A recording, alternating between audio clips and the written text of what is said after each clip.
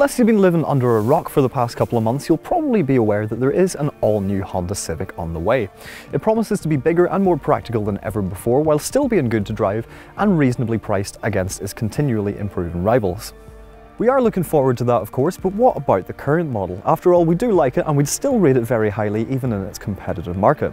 We also haven't yet given the 1.4 petrol engine a go, and so before we say goodbye to the current Civic in the next couple of weeks, we thought it would be worth a go. When the current Civic was introduced, it featured this split-level dashboard which at the time looked unbelievably futuristic. Compared to the sleek and decluttered dashes of modern cars, it looks slightly less so, but it's still undeniably quirky.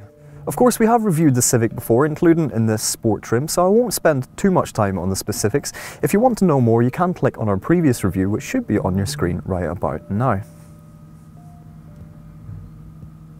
All that you should know is that the Civic Sport is designed as a sort of halfway house between the regular Civic hatchback and the Type R hot hatch, although it is decidedly more about the styling than it is about the speed. Even though it gets an aggressive body kit and a sizable rear spoiler, the Sport is actually the cheapest Civic that you can buy. Standard equipment includes DAB radio, cruise control and Bluetooth, so it's good value at least, and it's also a long shot from some of the more dire entry-level offerings from rival manufacturers. SatNav doesn't come as an option, which is a point against it, and material quality isn't up there with the best by quite a stretch, but it's still one of the most distinctive interiors around and good value for money. Where the Civic also wins is in terms of practicality. The rear doors open at a 90 degree angle, which makes it easy to get in and out of. However, the sloping roofline of the hatchback does make headroom a bit tight, while there's also less legroom than in other competitors. It's also got an extremely large boot for a hatchback with 487 litres, which is about 100 more than cars like the Volkswagen Golf. There's also this underfloor storage area, while with all the seats folded down, total cargo capacity is 1,210 litres.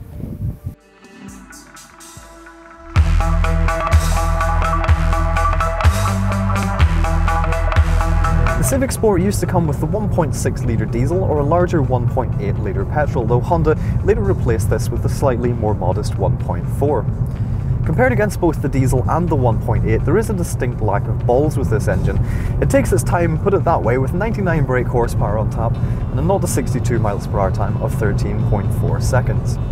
It's not all bad though, because at the end of the day, not every hatch has to be hot, and it'll surely still appeal to lots of people, particularly younger buyers, who want cool looks but not necessarily loads of power or high insurance costs.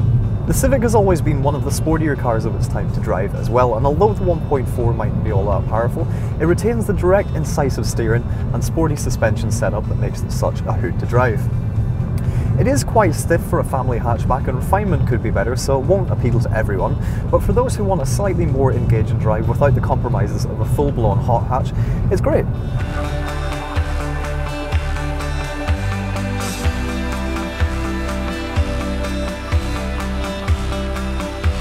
Pricing for the Civic starts from just over £18,000, which makes it slightly more expensive than your entry-level Golf or Focus, but in fairness you do get a better looking and slightly better equipped car. Bearing in mind that it's due for replacement soon, there are probably some sizable discounts that you can get on one as well. Running costs aren't quite as good as the 1.6 diesel, but are okay. Honda claims 51.4 miles per gallon with 131 grams per kilometre of CO2. Usually when it comes the time for a car to be replaced, it feels like it needs it, but apart from the interior, the current Civic still manages to feel contemporary. It's good to drive, massively practical, and it's got good looks to boot. If this is the precedent set, then we're definitely looking forward to the next one. But do you prefer this current Civic or do you like the look of the next one better? Let us know in the comments section below and don't forget to subscribe to our YouTube channel.